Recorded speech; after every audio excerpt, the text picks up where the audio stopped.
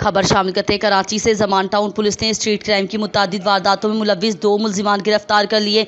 मुलजिमान असलहा के ज़ोर पर लांडी, कोरंगी, इब्राहिम हैदरी, कोरंगी सनाती एरिया समेत मुख्तलिफ़ इलाकों में छीना झपटी की वारदातें करते थे।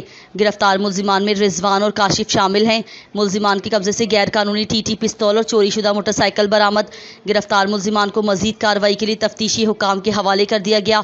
मीज़ान न्यूज़ से chief crime reporter Abid Hussain Afridi की रिपोर्ट।